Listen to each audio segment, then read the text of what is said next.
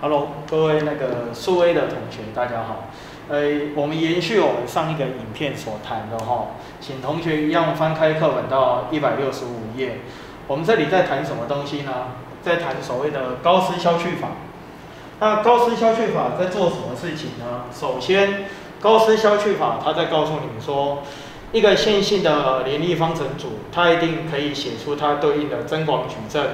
我们针对它的增广矩阵，我们有底下三个动作。这三个动作我们称为叫做基本列运算，因为这三个动作都是针对它的每一列去做的运算哈。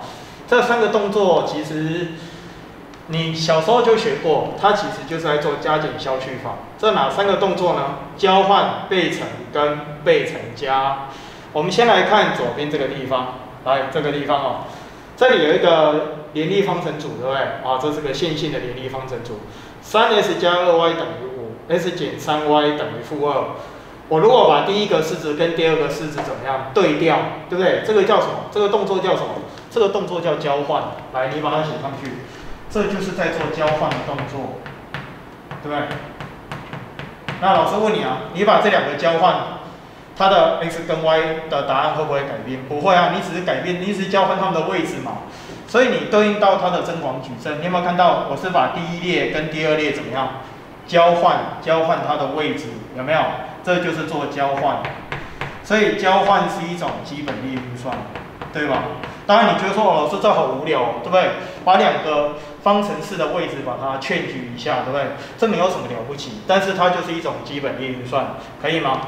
好，那我们来看第二个，什么叫倍乘呢？倍乘就是把你的某一列乘上一个不为零的常数，来，比如说。三 x 加 y 等于五，如果你把它乘四倍，它会变多少？十二 x 加八 y 等于多少？二十，对不对？我们在做加减消去法，不是经常要把某个式子乘上某个倍数吗？对不对？这个动作叫做倍乘。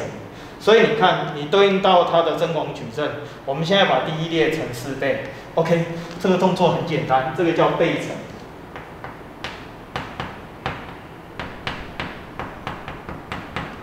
这懂吗？这个动作叫背沉。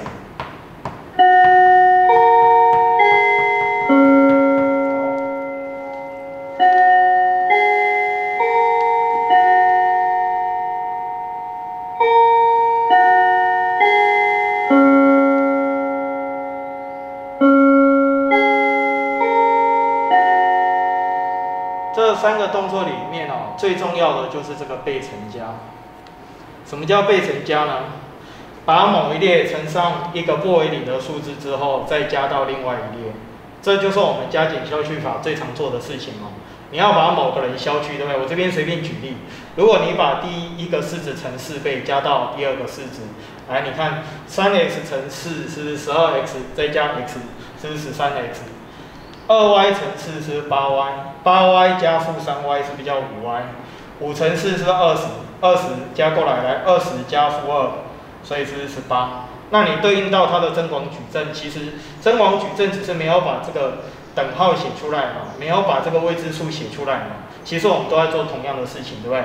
把第一列乘负四加到第二列，三乘四啊，第一列乘四，等下我看一下，对，乘以四加到第二列嘛，三四十二，十二加一是多少？是十三，二是八，八减三是不是五？然后五是二十，二十减二是不是十八？其实这两个是在做同一件事情，只是下面这个地方你没有把 s y 还有等号写出来而已。哦，这个叫三个基本列运算。透过基本列运算，我们再跟同学强调一次，我们可以把这个矩阵，这个增广矩阵写成什么形态？上三角的形态。写成上三角的形态之后，你再把它还原成原来的线性方程组，对不对？你是不是就很快的？就可以去找出就是它的未知数的解。诶，比如说老师这边，诶，我们来看一下哦。比如说以这个例子，好了，来，你看我这边，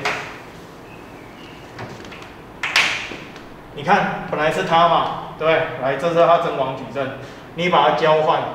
好，那交换之后，下一个动作我们做什么呢？哎，请看这边哦。我现在把，因为我们希望左下角这个地方，这个家伙是谁？我希望它变成零，对不对？变成零。哎，请问你，你要怎么让左下角这个数字变成零？你不要跟我说，老师，我把这一列乘以零，你把这一列乘以零是不对的，它整列就消失了，对不对？要怎么让它变成零？很简单，你只要把第一列怎么样乘上多少加到第二列就可以。你思考一下，把第一列乘多少加到第二列，这个数字会变成零，是乘以三吗？如果乘以三，你看哦。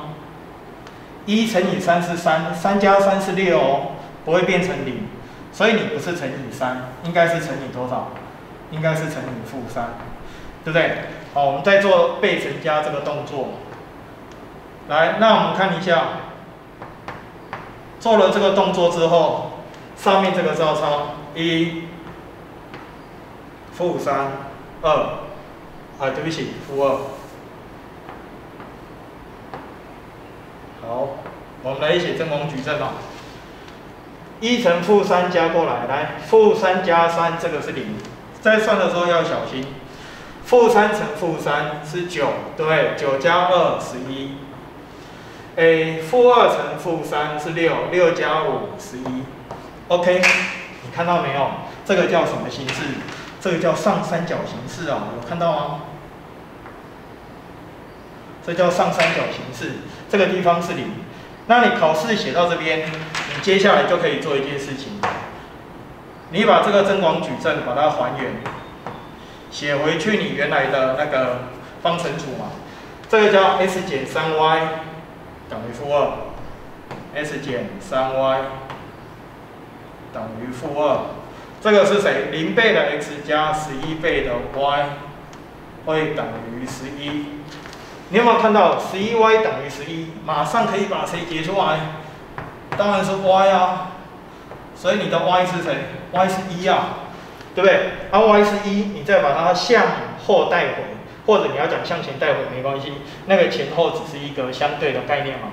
带回去前面的式子，y 等于一带回去哦，所以 x 减三等于负二，所以 x 会等于三减二，所以 x 也是一哦。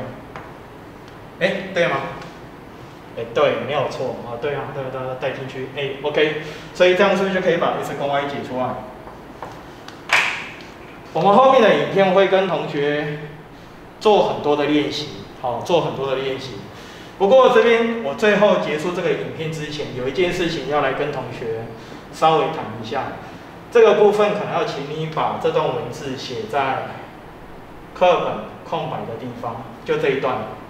这一段哈，我觉得这一段有点小重要，所以给你一点时间啊，你把它抄上去哈。你可以按个暂停，然后先把它写上去。我来解释一下啊，高斯消去法这三个基本列运算都是可逆的。哎，所以什么叫可逆？可逆就是它可以逆向操作，它可以透过相反的操作把它还原成原本的形态。好，那如果是可逆的，那就代表说，你消去未知数前后的两个线性方程组，他们会叫做同解。什么叫同解呢？同时无解，或者同时有解。而在同时有解的情况下，它们的解会长得一模一样。简单来说就是。你本来不，你不会说它本来是无解，然后经过你的基本列运算变成有解，不存在这种无中生有，好像说无解变有解，不可能。也不会说本来是，诶有唯一解，然后经过你的基本列运算变成无限多组解，这也是不可能的。简单来说，这段文字在跟你说什么呢？你透过基本列运算，交换倍乘倍乘加，你把这三个东西去做 combo 连续记，咚咚咚咚咚，对不对？哦，不管你做了几次。事实上，你可以透过逆向操作把它还原回去。那在数学上把这个东西称为叫可逆哦。那如果是可逆的，就代表它们会有相同的解。你说老师可逆为什么会有相同的解呢？其实你直观上这样看嘛，这两个式子你把它交换，啊，你再交换一次不就回去了吗？对不对？所以这个式子跟这个式子是不是有相同的解？你会觉得哦，对，没有错，对吧？啊，你想，你想想看嘛。如果是倍乘的话，比如说你想想看哦，我把这个式子乘四倍，对不对？啊，做什么动作可以让它还原回去？很简单啊，乘四是变成下一个式子嘛。那你把下一个式子再怎么样？再乘上四分之一，逆向操作，不就又回去了吗？对不对？好，它是可逆的，这个同学要体会一下。我们没有要讲的很数学，但是你就稍微体会一下，就是说它可以透过反向的操作，让它变成原本的形态。好，如果说你变成一个东西，然后回不去了。对不对？你回不去了，那就代表说，哎，那可能这两个东西在数学上不是等价的，对不对？好，你的解的结构可能已经产生变化，你听懂我的意思吗？好，那你说老师，那倍乘加呢？你想想看嘛，你把这个家伙乘四倍加到这里，对不对？哦，刚才我是讲倍乘的情况，如果你把这个家伙乘四倍，把这一列乘四倍加到这里，第二列的结构是不是改变？那请问你，你要怎么样让它回去？原本的样子其实很简单啊，你把这个家伙怎么样？你把它乘多少？哎，你刚才乘四加过来嘛，对不对？那你现在乘多少加过去就？哎，你现在怎么样？我想想看哦，乘四加过来，那你现在就乘多少？乘负四加过来就好了，对不对？对嘛？你乘四倍加过来嘛，那你现在乘负四倍再加过来，是不是又还原？了解吗？